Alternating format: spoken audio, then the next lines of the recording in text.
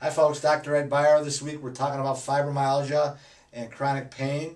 Well, you know, I've had a lot of cases over my 28 years in practice where people will come to me and they said, you know, I used to play, I played football in college or high school, or I fell out of a tree, or I was involved in a car accident.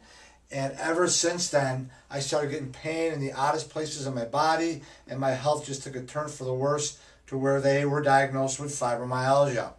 And so, head trauma head trauma can be an initiating factor in these chronic pain syndromes.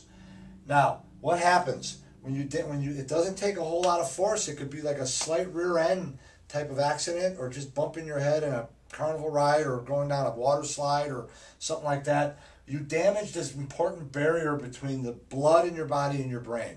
It's called the blood brain barrier. It's a barrier system just like we have with our skin and our gut that prevents things from getting into the brain that you don't want in the brain. The brain's very selective on what it can handle. So, an intact blood brain barrier is really important for a healthy brain.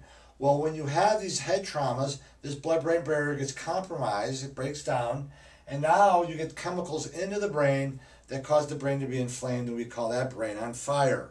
And what will happen is the neurons that perceive pain now are over perceiving pain. It's, it's called central sensitization. They exaggerate the perception of pain that's going on in your body.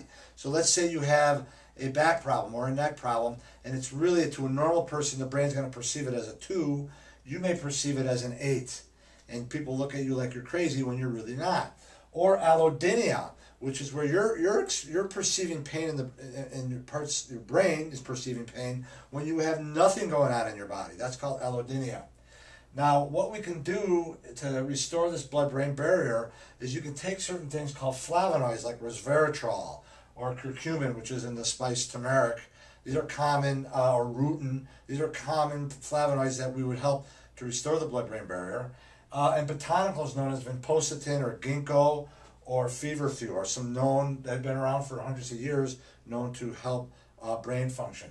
One of the best things too to restore a leaky blood brain barrier is exercise, one of the best things for your brain. I'm Dr. Beyer. Hope this helps. Have a great day.